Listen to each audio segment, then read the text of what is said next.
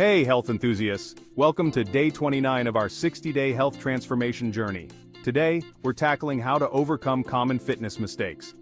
Mistake number one, poor form. Using incorrect form can lead to injuries and hinder your progress. Always focus on proper technique and if you're unsure, don't hesitate to ask a trainer for help. Mistake number two, overtraining.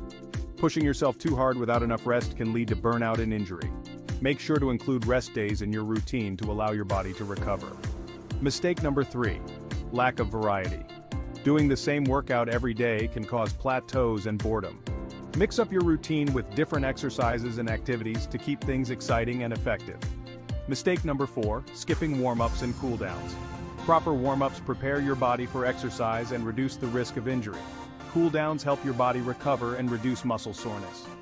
Mistake number 5, obsessing over the scale. Weight is just one measure of progress. Focus on other indicators like how your clothes fit, your energy levels, and your overall well-being. Avoiding these common mistakes can help you stay on track and make your fitness journey more enjoyable and effective. Remember, it's about progress, not perfection. Thanks for joining me on day 29. Stay tuned for tomorrow's video where we'll discuss the importance of proper hydration during workouts. Keep learning and keep moving forward.